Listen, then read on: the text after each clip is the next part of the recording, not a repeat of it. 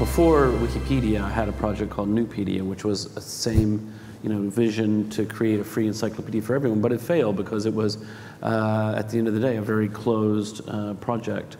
Um, and once we realized that we could open up and really invite more people to participate, um, we did have all of this incredible creativity. In fact, even the, the way the Wikipedia community functions, the way um, you know, all the rules within the community and how we do things and how we make decisions, that was all itself invented by the community. Um, you know, I had some role in that and guiding it, but it's not like I conceived of every detail of how the Wikipedia community could function in a healthy way myself. Uh, that, that I don't have the talent to do that, but the talent's out there, and people, you know, rose to the top uh, within the community who had good ideas and said, oh, well, you know, if we're going to deal with, um, you know, what if somebody is uh, trying to spam us with millions of bad links?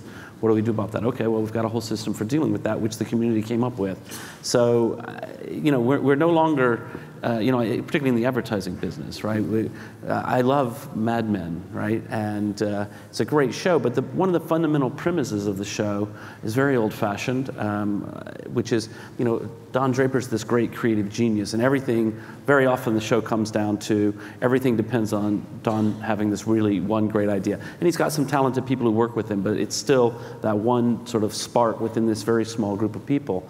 Um, that's no longer really a realistic model of the world, as we see from the, the results from MoFilm, that these incredible sparks of, of genius ideas can come from anywhere. And open systems are much better at finding those things, uh, you know, if they're appropriately curated and, and brought forward in the right way, uh, than the old systems were. And I think that's a, that's a huge sea change, really, that's going on.